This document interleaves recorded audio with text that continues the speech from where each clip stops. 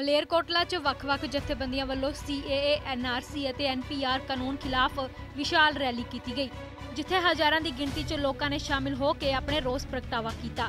ਜ਼ਿਕਰਯੋਗ ਹੈ ਕਿ ਇਸ ਰੋਸ ਪ੍ਰਦਰਸ਼ਨ 'ਚ ਔਰਤਾਂ ਆਦਮੀਆਂ ਦੇ ਨਾਲ-ਨਾਲ ਬੱਚੇ ਵੀ ਸ਼ਾਮਿਲ ਰਹੇ ਜਿਨ੍ਹਾਂ ਵੱਲੋਂ ਕੇਂਦਰ ਸਰਕਾਰ ਖਿਲਾਫ ਜੰਮ ਕੇ ਨਾਅਰੇਬਾਜ਼ੀ ਕੀਤੀ ਗਈ। ਜਥੇਬੰਦੀਆਂ ਤੋਂ ਵੀ ਉੱਪਰ ਇਹ ਜਥੇਬੰਦੀਆਂ ਆ ਰਹੀਆਂ ਨੇ ਮਲੇ ਘੱਟੋ ਘੱਟ ਸਾਡਾ ਅੰਦਾਜ਼ਾ ਵੀ 1.5 ਲੱਖ ਤੋਂ ਉੱਪਰ ਲੋਕ ਜਾਣਗੇ ਇਹ ਪ੍ਰੋਟੈਸਟ ਦੇ ਵਿੱਚ ਹਿੱਸਾ ਲੈਣਗੇ।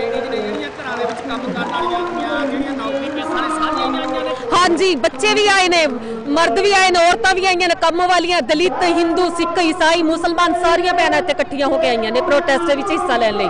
ਸਰ ਜਿਹੜਾ ਸਰਕਾਰ ਨੇ ਕਾਲਾ ਕਾਨੂੰਨ ਲਾਗੂ ਕੀਤਾ ਹੈ ਐਨਆਰਸੀ ਸੀਏਏ ਤੇ ਐਨਪੀਆਰ ਉਹਦੇ ਲਈ ਅਸੀਂ ਇੱਥੇ ਇਕੱਠੇ ਹੋਏ ਹਾਂ ਕਿਉਂਕਿ ਅਸੀਂ ਉਹਨੂੰ ਬਿਲਕੁਲ ਵੀ ਸਪੋਰਟ ਨਹੀਂ ਕਰ ਰਹੇ।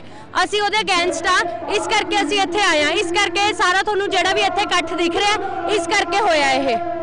ਦੱਸ ਦਈਏ ਕਿ ਮਲੇਰਕੋਟਲਾ 'ਚ ਪਹਿਲਾਂ ਵੀ ਕਈ ਵਾਰ CAA ਖਿਲਾਫ ਰੋਸ ਪ੍ਰਦਰਸ਼ਨ ਕੀਤਾ ਜਾ ਚੁੱਕਿਆ ਹੈ। ਮਲੇਰਕੋਟਲਾ ਤੋਂ ਮਨੀਸ਼ ਵਰਮਾ, ਦੈਨਿਕ ਸਵੇਰਾ ਟੀਵੀ। ਕੈਨੇਡਾ ਦਾ ਸਟੱਡੀ ਵੀਜ਼ਾ ਸਿਰਫ 5 ਲੱਖ ਰੁਪਏ ਦੇ ਵਿੱਚ।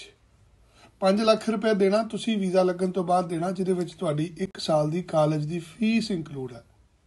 ਤੁਸੀਂ ਬ੍ਰਾਂਪਟਨ ਜਾਣਾ ਚਾਹੁੰਦੇ ਹੋ, ਸਰੀ ਜਾਣਾ ਚਾਹੁੰਦੇ ਹੋ, ਸਿਰਫ 5 ਲੱਖ ਰੁਪਏ ਚ ਜਾਓਗੇ, ਇਹ ਵੀ ਪੈਸੇ ਤੁਸੀਂ ਵੀਜ਼ਾ ਲੱਗਣ ਤੋਂ ਬਾਅਦ ਦੇਣੇ।